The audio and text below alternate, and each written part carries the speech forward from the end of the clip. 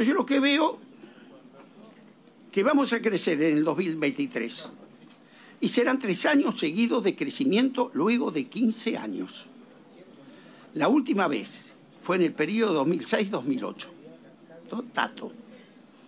La inversión creció el 44% en el tercer trimestre de 2022 versus el, el cuarto de 2019.